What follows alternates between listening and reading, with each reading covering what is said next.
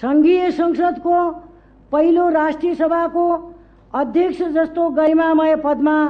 निर्विरोध निर्वाचित हुनु भएको माननीय श्री गणेश प्रसाद तिमी सिन्हालाई मेरो व्यक्तिगत एवं राष्ट्रिय सभाको तर्फबाट हार्दिक बधाई तथा सबल कार्यकालको शुभकामना व्यक्त गर्दछु